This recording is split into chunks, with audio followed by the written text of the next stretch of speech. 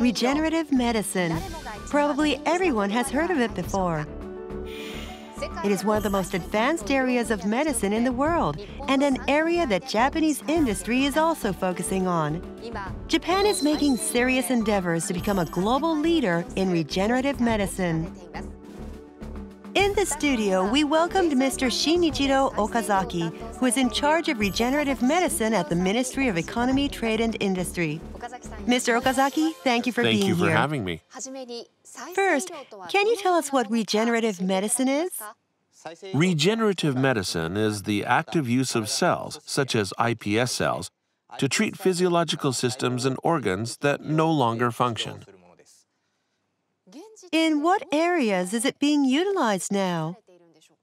Currently, two products have been officially approved for manufacture and sales in Japan. One is a cultured epidermis sheet for treating severe burns. The other is cultured cartilage for treating knee joints that have lost cartilage. Research is also advancing in other areas, such as severe heart disease, retinal disease, Parkinson's disease, and spinal cord injuries, several of which are nearing practical application. I see. How big is the market for the field of regenerative medicine?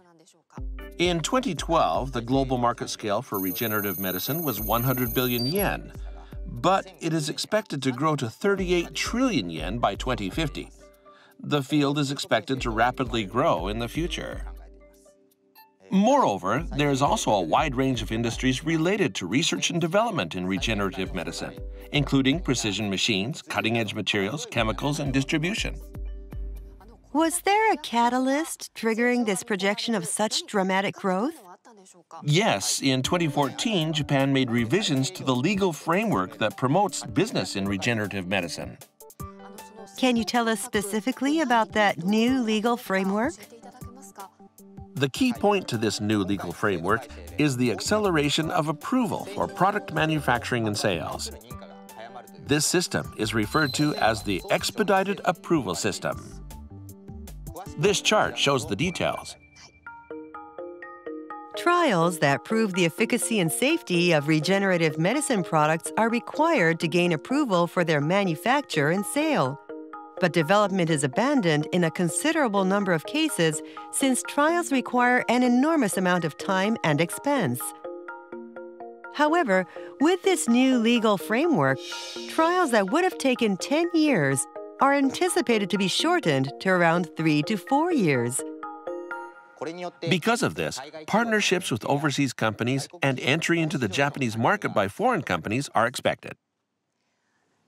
Will this new legal framework accelerate business between Japan and overseas companies in the field of regenerative medicine? Yes, very much so, I think. As the most advanced in the world, this new legal framework is garnering attention from companies around the world. For example, 10 regenerative medicine related companies in Japan are endeavoring to create a base for this industry in a national strategic special zone in Kanagawa Prefecture by 2017 to jointly develop products with overseas companies. Close to Tokyo International Airport, the location has great access and is anticipated to become a global industrial base. Efforts are also being made to energetically promote Japan's new legal framework to persons in medical fields overseas. In June 2015, the world's largest biotechnology event was held in the United States. Companies from around the world with the latest technologies gathered together, leading to a variety of business, including joint research and development. 20 companies from Japan also participated and actively promoted their technologies. It looks like this company, which possesses cell technology for regenerative medicine, also found a new partner. Seminars were held as well, and Japan's new legal framework for regenerative medicine program was promoted. New legal framework will make Japan a very attractive market for both R&D and the uh, practical application for uh, regenerative medicine. We welcome many companies which start their businesses in Japan.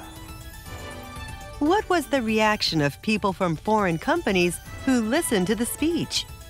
Within the Japanese market, and I think this uh, opens the door to a, a freer marketplace in Japan, and it's so it should be interesting to watch. Hopefully, we can uh, we can participate in that. Yeah. What kind of advantage does partnering with overseas companies to promote regenerative medicine business give to Japanese companies? In this field, developing technologies and products takes a significant amount of money and time. Collaborating with overseas companies enables utilization of technologies and rights that each possess and is thought to facilitate reciprocal market development in Japan and overseas. We hope that this expedited approval system program will encourage this kind of activity. Terumo Corporation is a company utilizing the new legal framework. In 2014, with the launch of the new legal framework, the company applied for approval to manufacture and sell a cell sheet for treating patients with serious heart failure. Terumo has been researching regenerative medicine for the heart muscle since 2002 and conducting joint research on the cell sheet with Osaka University. Osaka University developed the world's first cell sheet which is being used at Terumo in trials with the aim of practical application. The person responsible for research and development talked about the expedited approval system. Actually, I've heard that Osaka University has received quite a few inquiries from overseas about the skeletal myoblast sheet we're developing. Japanese technology is leading the world and seems to be the frontrunner in the area of practical application in medicine.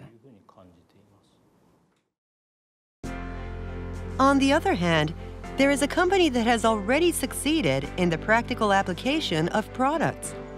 That company is Japan Tissue Engineering, JTEC. JTEC carries out the entire process from researching to manufacturing and selling products in fields such as regenerative medicine.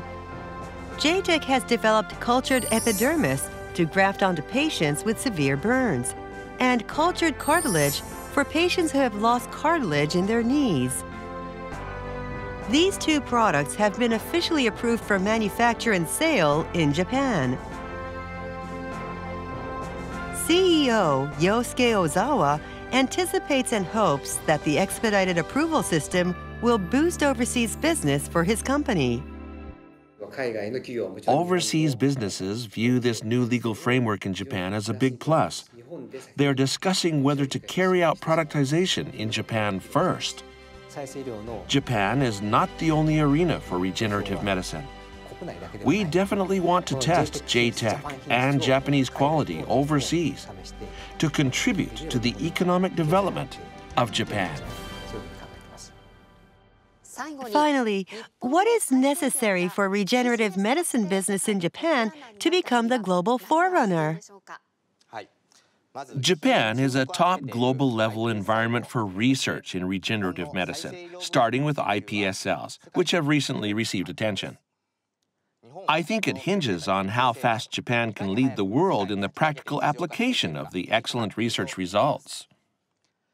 For companies in the business of regenerative medicine, the expedited approval system in Japan presents a huge chance.